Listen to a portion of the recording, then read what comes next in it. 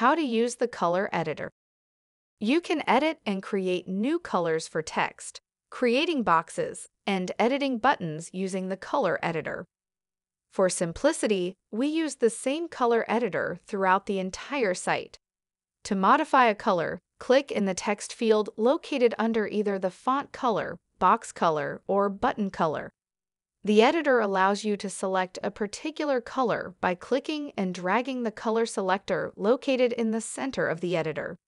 You can also adjust the shade of a particular color by clicking and dragging within the box to the left of the color selector.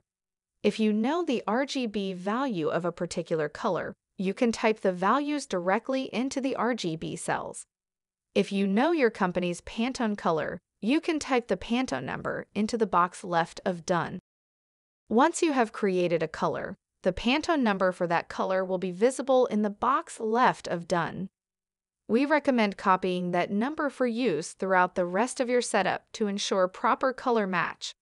Click Done to save your changes.